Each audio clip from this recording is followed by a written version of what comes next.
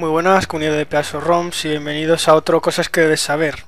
Esta vez nos vamos a centrar en un shoot'em up que jamás fue lanzado, del que solo existe un prototipo con una versión muy temprana del juego.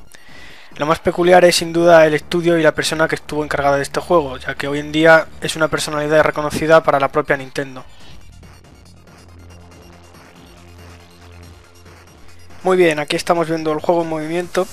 No tiene sonido, por cierto. Eh, somos inmortales, ni siquiera nos van a dañar. Eh, de hecho, nunca podemos morir y no tenemos nada más que un tipo de disparo. No hay objetos, simplemente hay enemigos que siguen un, patrón muy sencillo y varias puertas. Bien, este juego pues no tiene nombre, simplemente se le conoce como Jeff's Shooten Up. Y ya estoy dando una pista de cómo se llama la persona que estuvo detrás de este juego. Se llama Jeff. Ahora vamos a ver quién es este Jeff y qué importancia tiene. El equipo creativo de este juego, Iguana Entertainment, sí que lanzó varios juegos en Super Nintendo y en Mega Drive de manera oficial. Por ejemplo, Aero de Acrobat es de esta compañía. En 1993 adquirieron un pequeño estudio independiente en Reino Unido eh, que rebautizarían como Iguana UK, Iguana Reino Unido. Eh, más tarde Jeff decidió vender esta compañía al mejor inversor, que en este caso fue a Klein Entertainment. Eso fue en el año 95. Eh, ambos estudios de Iguana pues continuarían haciendo juegos.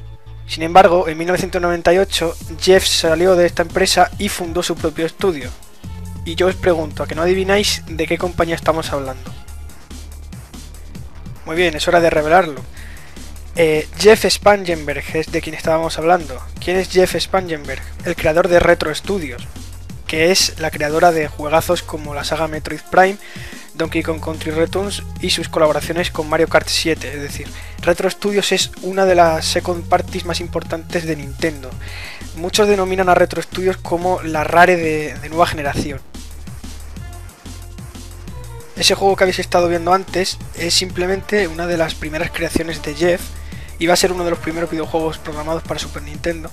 Y quiero que veáis cómo ha evolucionado este personaje, esta persona, Jeff, y cómo se ha convertido en todo un icono. Este Cosas que debes saber ha servido pues para que veáis un poquito la historia de una compañía bastante desconocida y cómo eh, su creador se ha convertido en quien es. Si os ha gustado este pequeño demo, este juego tan limitado, si os ha gustado cómo se ve la perspectiva de su Up multidireccional, pues tenemos otros buenos ejemplos como Super Smash TV.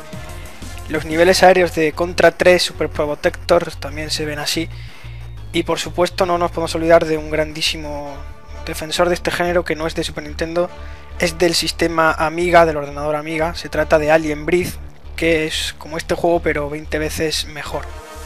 Asimismo tengo que agradecer la búsqueda de esta información a Evan G de SNES Central y a Nintendo Player, ¿no?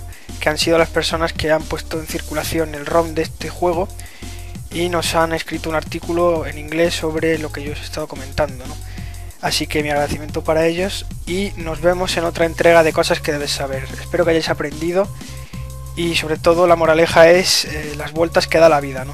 Ya habéis visto como una persona que parecía no ser nadie ha llegado a ser pues el fundador de un estudio que tiene mucho por delante todavía, tiene mucho que ofrecer.